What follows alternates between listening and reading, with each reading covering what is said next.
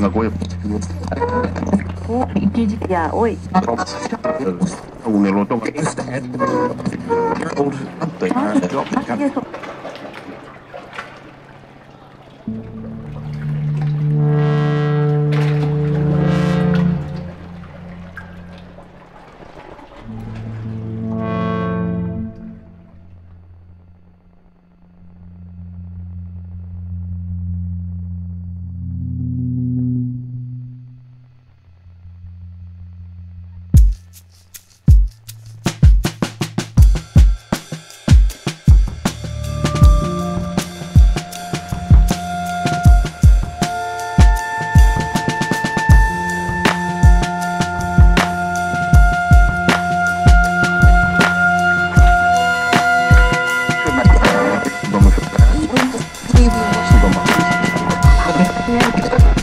がごよくお、一時やおい。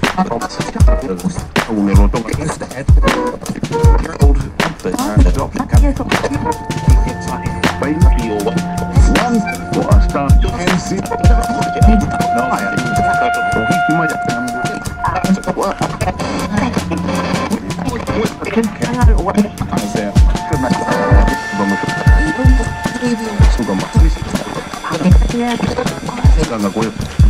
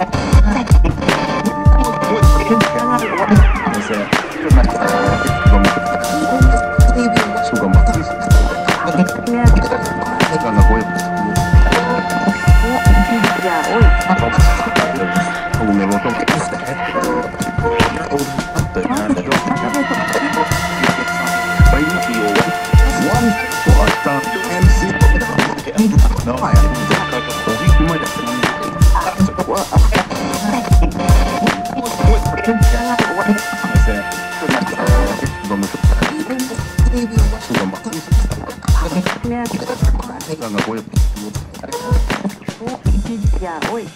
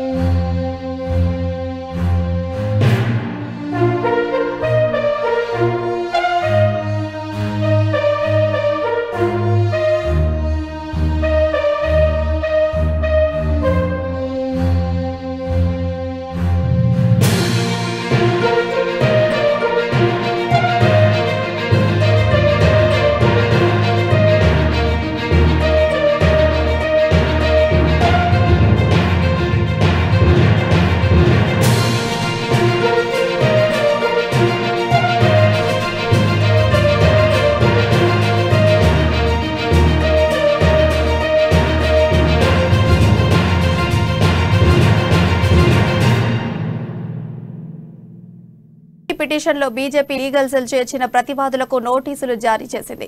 ఇక దీనికి సంబంధించి మరింత సమాచారం మా బ్యూరో చీఫ్ కృష్ణమూర్తి అందిస్తారు. కృష్ణమూర్తి ఫోన్ ఇన్లో ఉన్నారు. కృష్ణమూర్తి చెప్పండి.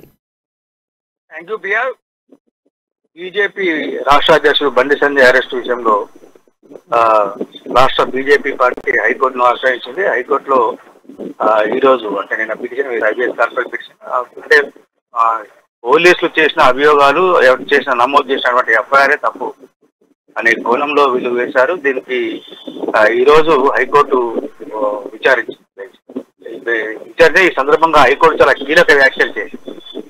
పబ్లిక్ డొమైన్లో క్వశ్చన్ పేపర్ వచ్చేసిన తర్వాత ఒక ఒక పర్సన్ చేరింది అన్నప్పుడు ఆయనకు ఎట్లా నిందిత అవుతాడు ఎలా దీన్ని లీకేజ్ అని ఎలా అంటారు అని చెప్పేసి హైకోర్టు చాలా కీలకమైన వ్యాఖ్యలు చేసింది ప్రభుత్వాన్ని. అయితే బీజేపీ ఆరుగురిని ప్రతి- ప్రతివాదులుగా చేర్చిన నేపథ్యంలో వాళ్ళందరికీ నోటీసులు జారీ చేసినటువంటి హైకోర్టు విచారణ సోమవారానికి వాయిదా వేసింది. అంతకంటే ముందు ఈ సందర్భంగా ఆ, ప్రభుత్వం తరఫున అడ్వకేట్ జనరల్ బీజేపీ తరఫున సీనియర్ న్యాయ న్యాయవాది రామచంద్రరావు తదితరులు తమ వాదన వినిపించారు. రాష్ట్ర ప్రభుత్వం పూర్తిగా సంజయ్ మీద కుట్రపూరితంగా అంటే ఒక రాష్ట్ర పార్టీకి అధ్యక్షుడిగా ఉన్న నేపథ్యంలో రాష్ట్ర ప్రభుత్వ వైఫల్యాన్ని ప్రజల్లో ఎండగడుతుండగా కావాలని కుట్రపూర్తంగా ఉద్దేశపూర్వకంగా చేశారు ఈయనను ఏవంగా పెట్టడం అనేది పూర్తిగా తప్పు. దీంట్లో ప్రభుత్వ ప్రోద్బలంతో పోలీసులు ఆయనను ఏవన్గా చేశారు. వాస్తవానికి పరీక్ష స్టార్ట్ అయినాక రెండు రెండున్నర గంటల తర్వాత సంజయ్ వాట్సాప్కు ఎవరో ఆ, ప్రశ్నపత్రాన్ని పోస్ట్ చేశారు. దాన్ని దృష్టిలో పెట్టుకొని ఏవన్గా సంజయ్ ఎలా అవుతారు? అంటే సంజయ్ని మానసికంగా వేధించాలనే ఇబ్బందులు. ఒకటి. కరీంనగర్లో బండి సంజయ్ని అర్ధరాత్రి బలవంతంగా అరెస్ట్ చేసిన పోలీసులు కరీంనగర్ నుంచి వరంగల్కు కేవలం అరవై కిలోమీటర్ల దూరం. అరవై కిలోమీటర్ల దూరంలో ఉన్నటువంటి ప్రాంతానికి వెంటనే తీసుకెళ్ళకుండా దాదాపుగా నూట ఇరవై నూట ముప్పై కిలోమీటర్లు తింపి వేరు వేరు పోలీస్ స్టేషన్లో ఉంచి చాలా ఆయనను అంటే ఒక ఉదయం నుంచి అంటే తెల్లవారుజాము నుంచి మొదలు పెడితే రాత్రి నిన్న రాత్రి వరకు కోర్టులో ప్రొడ్యూస్ చేసే వరకు ఎక్కడ తీసుకుపోతున్నారు ఏం చేస్తున్నారు ఆయనను ఏ విధంగా చూస్తున్నారు అనే విషయానికి ఎవరు తెలియకుండా కార్యకర్తలు కాకుండా ఎవరికి కుటుంబ సభ్యులకు కనీసం సమాచారం ఇవ్వకుండా న్యాయవాదులు వెళ్తే ఎక్కడ ఉన్నాను వెళ్ళినా న్యాయవాదులను కూడా బెదిరించే ధోరణి మీరు ఎక్కువ మాట్లాడితే మిమ్మల్ని కూడా కేసులు పెట్టి మిమ్మల్ని అరెస్ట్ చేస్తామని బెదిరించే విధంగా పోలీసులు వివరించారు అది పూర్తిగా తప్పు. ఈ విషయంలో పోలీసులు అంటే నిబంధనను పూర్తి స్థాయిలో ఉల్లంఘించారు. బండి సంజయ్ ఒక ప్రజాప్రతినిధి ఒక పార్లమెంటు సభ్యుడు. ఆయన బాధ్యత గల వ్యక్తి. ఆయన కూడా రాజ్యాంగబద్ధంగా రా- అంటే చట్టసభలకు ప్రాతినిధ్యం వహిస్తున్న వ్యక్తి. అట్లాంటి వ్యక్తి పట్ల పోలీసులు అనుసరించిన తీరు పూర్తిగా ఆక్షేపణీయంగా ఉందని చెప్పేసి బీజేపీ తరఫున వాదించినటువంటి రామచంద్రరావు కోర్టు దృష్టికి తీసుకెళ్ళారు. అయితే ఇదే విషయంలో అడ్వకేట్ జనరల్ ప్రభుత్వం తరఫున వాదిస్తూ బండి సంజయ్ పేపర్ లీకేజీలో కుట్ర ఉంది బండి సంజయ్. అందుకు సంబంధించిన సాంకేతిక ఆధారాలు కానీ పూర్తి స్థాయిలో అంటే వాట్సాప్ చాటింగ్లు ఫోన్ మెసేజ్లు ఎప్పుడు ఎవరితోటి ఎలా మాట్లాడారు ఏం మాట్లాడారు విషయాలు పూర్తిగా తమ దగ్గర ఉన్నాయి. దీంట్లో ఎటువంటి లేదు. కావాలని ప్రభుత్వాన్ని అస్థిరపరిచేందుకు ప్రభుత్వాన్ని ప్రజల్లో చులకన చేసేందుకు బండి సంజయ్ కుట్రపూరితంగా వ్యవహరించారు. మొత్తం అంటే లీకేజీలకు సంబంధించి బండి సంజయ్ పాత్రధారి సూత్రధారి. కాబట్టి ఈయన ఆయన మీద మేము ఏ వన్గా పెట్టాము ఆయన ప్రధాన మొదటి ముద్దాయిగా నిర్ధారించి కేసు నమోదు చేయడం జరిగింది. ఇటు ఇందులో ఎటువంటి కుట్ర కోణం లేదు ఎటువంటిది లేదు. అదే అంటే చిన్నపిల్లలు పదవ తరగతి పిల్లలంటే వాళ్ళు మొదటిసారి పరీక్ష రాస్తున్నటువంటి స్థాయిలో వాళ్ళలో కూడా ఆత్మస్థైర్యాన్ని దెబ్బతీసే విధంగా బీజేపీ వ్యవహరించడము ఒక రాష్ట్ర స్థాయి జాతీయ పార్టీకి రాష్ట్ర స్థాయి అధ్యక్షుడు ఉన్న వ్యక్తి లీకేజీకి ప్రోత్సహించి లీకేజీలకు వాళ్ళను అంటే యువతను ప్రోత్సహించడం అనేది చట్టవిరుద్ధము పూర్తిగా అని చెప్పేసి ఆ, ప్రభుత్వం తరఫున ఏజీ వాదించాడు ఈ ఇరువరి వాదనటువంటి కోర్టు విచారణ సోమవారానికి వాయిదా వేసింది. ప్రతివాదులకు నోటీసు దాచి వారందరినీ కూడా సోమవారం వారి వారి ఆ, పిటిషన్లను కూడా దాఖలు చేయాలి. వాళ్ళు వారి వివరణలు ఇవ్వాలని చెప్పేసి కోర్టు ఆదేశించి సోమవారం చేసింది అయితే Bandi Sanjay bail- bail petition వేసుకోవచ్చు అని చెప్పేసి కోర్టు కొంత ముక్తాయింపు ఇచ్చింది. అంటే కొంత ఊరట ఇచ్చే విషయం. బండి సంజయ్కి ఊరట ఇచ్చే విషయంగా మనం చెప్పుకోవచ్చు ప్రియ. ఓకే అండి.